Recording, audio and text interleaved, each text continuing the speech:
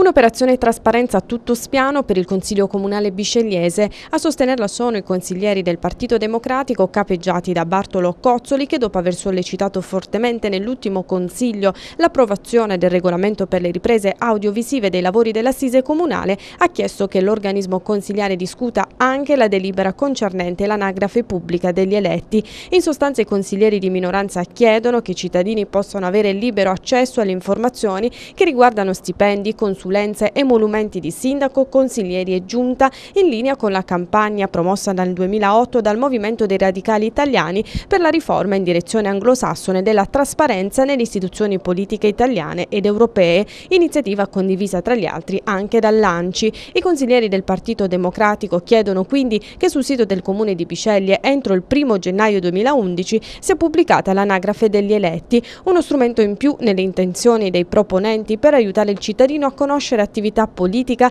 e condizione reddituale a inizio e fine mandato dei propri rappresentanti, informazioni che possono tornare utili per una scelta di voto più consapevole in occasione delle amministrative in programma Bisceglie il prossimo anno.